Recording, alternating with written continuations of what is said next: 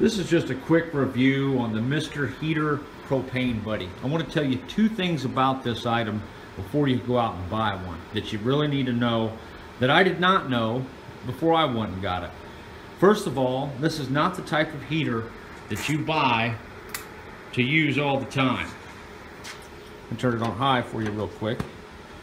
This thing guzzles down propane so bad. The second problem with this device is I don't know if you've seen the pilot light that was lit down here when this was going. There, let me show you what happens here. See how I just blew that pilot light out? Now, if you were using this thing to try and work on a car or something, or just in any type of emergency situation, and you had some wind, here in a second this heater's going to kick off because of that pilot light being out.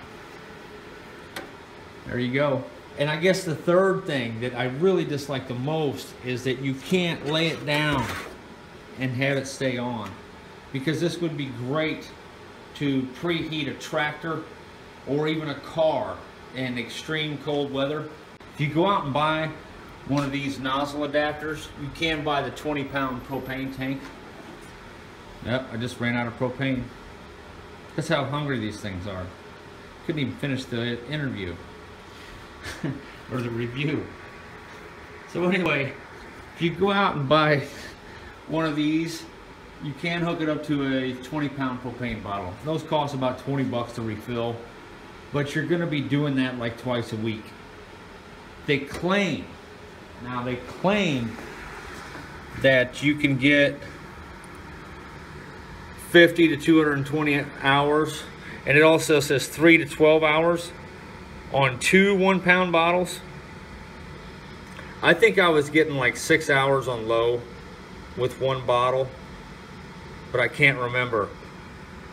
That that may be the case. If you look at those numbers that's kind of an odd ratio 3 to 12 I mean what in the heck? Either you're on high or you're on low Weird. I guess on high. Either way. There you have it. I don't believe that. I, I think I got six hours on low. Uh, on high, it was like gone in no time. Like an hour and a half, I think it was. So this is a great little emergency heater, but it's not something you use every day. As far as the output, on high, it's like 2600 watts, I think.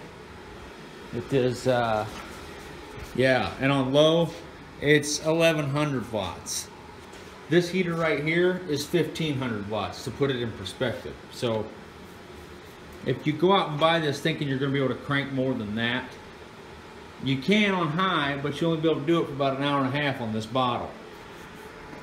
Um, maybe longer.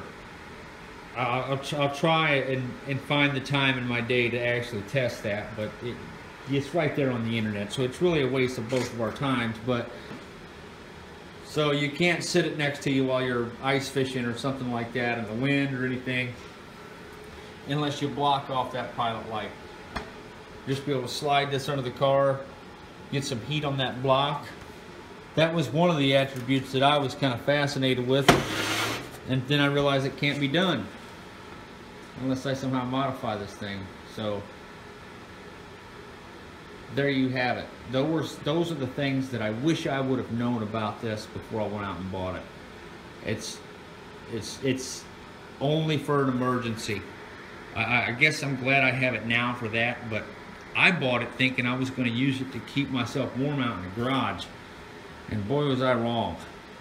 After a, the fourth or fifth time of buying propane, I, figured, I figured out that I have a problem here. So I do not recommend this product for continuous use at all. And I also don't know if I believe the carbon monoxide claims.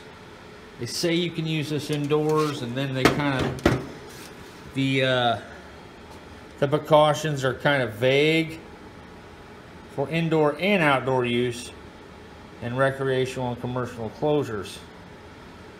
So apparently the catalyst is burning all the carbon monoxide.